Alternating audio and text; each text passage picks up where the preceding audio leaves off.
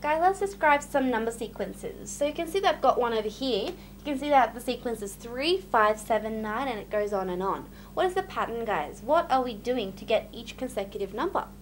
Well, you can see that the first term is 3, the second term is 5, the third term is 7, and you know that the sequence starts with 3, starts with 3, and each term is 2 more than each previous one.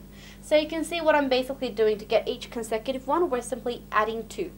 So in this section guys, it's very very simple. All you have to remember is what it starts with. Try to remember what the first term is, what it starts with, and see what the pattern is. What are we doing to get every consecutive number?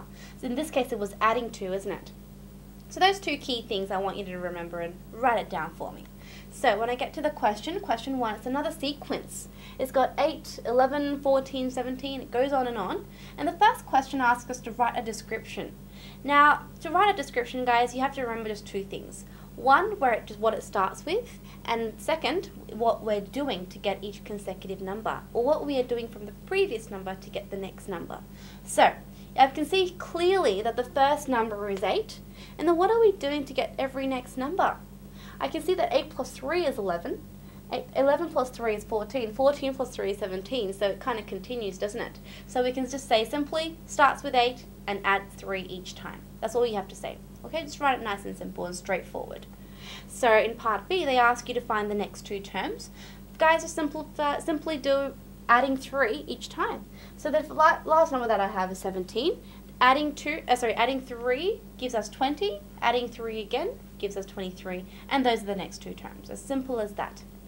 So, question 2. Again, we've got another sequence here. We've got 12, 10, 8, 6. It's going down this time. It's getting smaller, isn't it? So when it says write a description for these, we know that the first term is 12. And as I said, because we're getting smaller, I'm pretty sure we're going to be subtracting. You can see the difference is all 2, which means we're subtracting 2 each time. Okay, so it starts with 2, uh, sorry, starts with 12 and subtract 2 each time. That's the pattern. So when it says find the next two terms, we're going to subtract 2. So 6 minus 2 is 4, 4 minus 2 is 2. That will be the next two terms. Question 3. Again, we've got another sequence, 1, 2, 4, 8. So again, let's write a description for the sequence. The first term is clearly 1. Um, the difference between 2 and 1 is 1, but the difference between 4 and 2 is 2. And the difference between A and 4 is 4. So definitely we know that we're not going to be adding. This time try multiplying. When the difference is not the same, try multiplying. I know that 1 times 2 is 2, 2 times 2 is 4, 4 times 2 is 8, so it must be multiplying by 2. So this one starts with 1 and multiplies by 2 each time. So when I ask you to find the next two terms, let's do the procedure. What's 8 um, multiplied by 2? It's 16. 16 multiplied by 2, that's 32, and that is the next two terms. Very, very simple. Question 4. Okay, this time is 243, 81, 27, 9 is going down quite rapidly, isn't it? So, when I ask you to write a description for the sequence, first of all, I know that the first term is 243, and because we're going down rapidly, I'm thinking we're going to be dividing.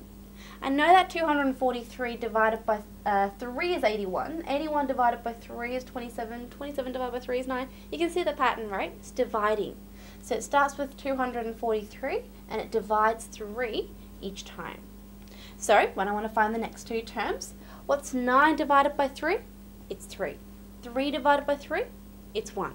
So therefore, 3 and 1 are the next two terms. As simple as that. So I guess the key thing is to try to find the right pattern and continue it on to find any next numbers.